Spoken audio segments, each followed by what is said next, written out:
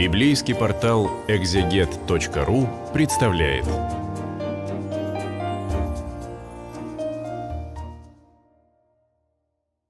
Десятая глава книги «Исход», перевод российского библейского общества, я его читаю для библейского портала «Экзегет». Уже в девятый рассуждали о египетских казнях, да и в восьмой тоже. Все продолжается, да, то есть э, Господь показывает израильтянам, да и египтянам, что э, на самом деле не фараон управляет этим миром. В Египте это однозначно фараон, он бог по должности, он всесильный диктатор, он, он все. И вдруг, оказывается, есть тот, кто круче фараона. И если это не показать израильтянам, их невозможно будет выдернуть из этого рабства, потому что э, раб по своей природе человек боязливый, раб по своей природе человек подчиняющийся.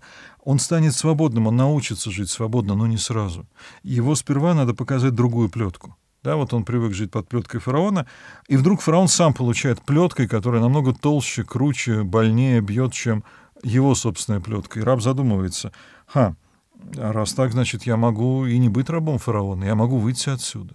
Вот это и произойдет в 10 главе. Господь велел Моисею, иди к фараону, я сделал так, что фараон и его вельможи по-прежнему упорствуют. Это для того, чтобы я мог показать на них мои чудеса.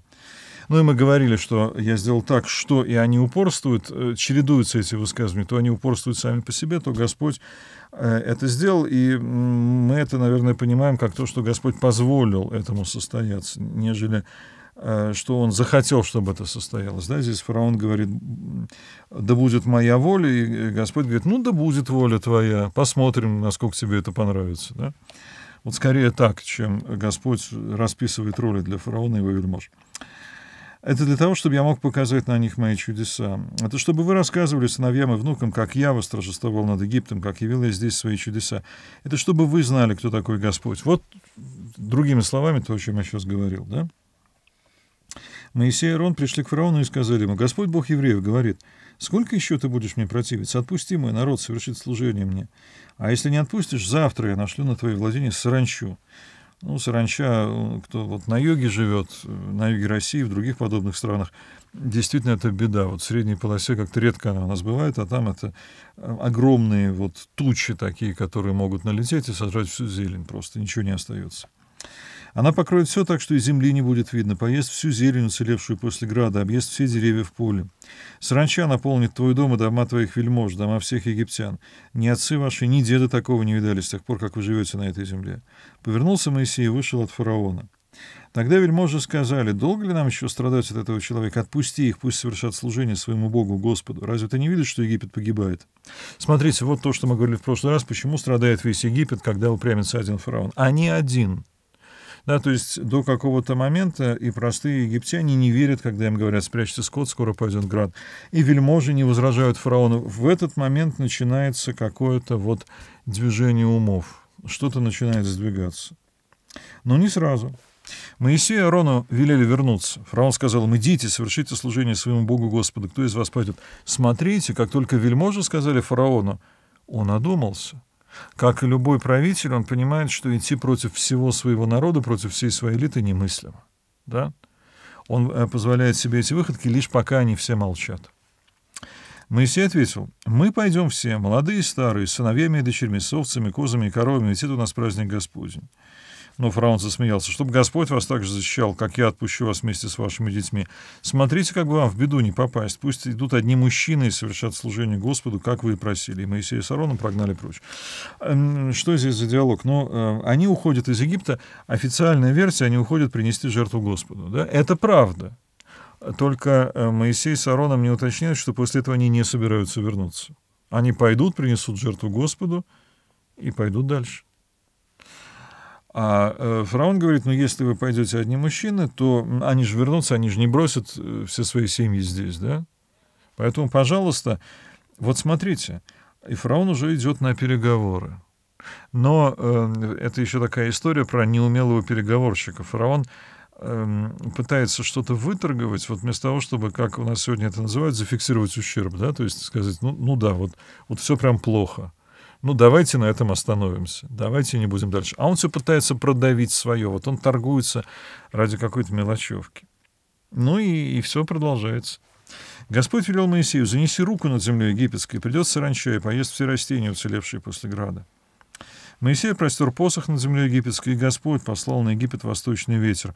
Ветер дул весь день и всю ночь, а на утро принес с востока саранчу.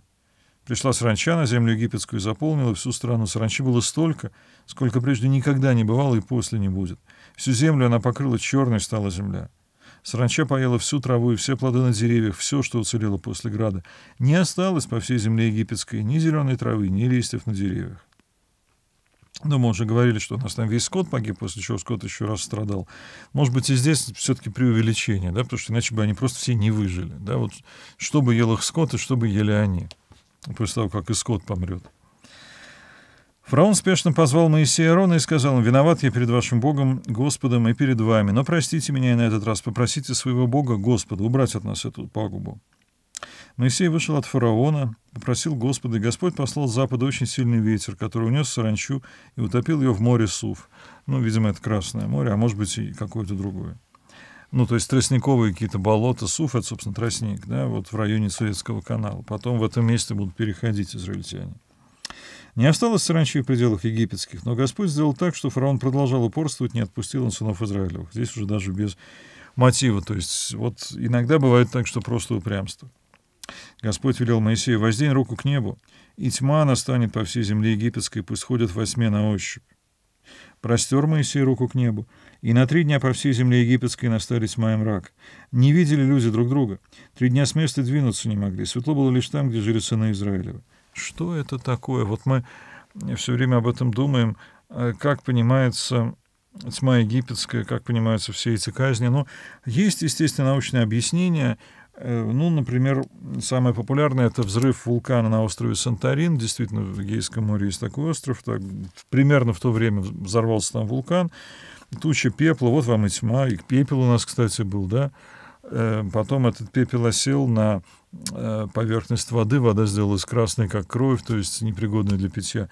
Жабы вылезли из воды, потому что им негде стало жить, потом они сдохли, налетели всякие мошки, которые этих жаб мертвых кушали и так далее. Э, потом они распространили болезнь, нарывы появились на скоте и на людях. Да? То есть можно выстроить очень логичную цепочку, ну, правда, не все будет так, как в Библии, но, но в общем и целом похоже.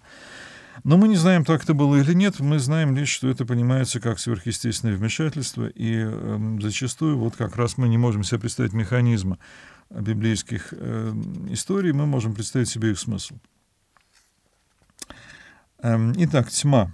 Светло было лишь там, где жили сыны Израилева. А это ведь еще и в переносном смысле. Они в Египте ходят во тьме, в языческой, а израильтяне во свете богопознания. Фараон позвал Моисея уже сам и сказал, идите, совершите служение Господу, но скот ваш и мелкий и крупный пусть останется, а дети пусть идут с вами. Он все уже понял, говорит, уходите, но без скота, налегке. А куда они пойдут без скота, они пастухи, что они будут есть? Тоже, получается, погибнут. Моисей ответил, а Моисей ему не говорит, мы не вернемся, хотя оба это понимают. Моисей ответил, ты должен отпустить с нами скот, чтобы мы принесли нашему Богу, Господу, жертвы всесожжения и пиршественные жертвы. Весь наш скот до единого животного должен пойти с нами. И уже там, на месте, мы отберем, что принести в жертву нашему Богу, Господу. Ведь пока мы туда не придем, мы не узнаем, каких животных принести Господу в жертву. Ну вот, э, это уже абсолютно откровенная претензия на то, чтобы уйти и не вернуться. Они ничего не оставят в Египте.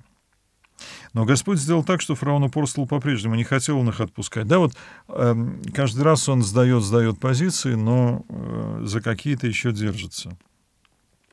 «Уходи», — сказал фараон Моисею, — «впредь ко мне не являйся, явишься, умрешь». Моисей ответил, «Как ты сказал, так и будет больше, я тебя не увижу». Переговоры закончились провалом.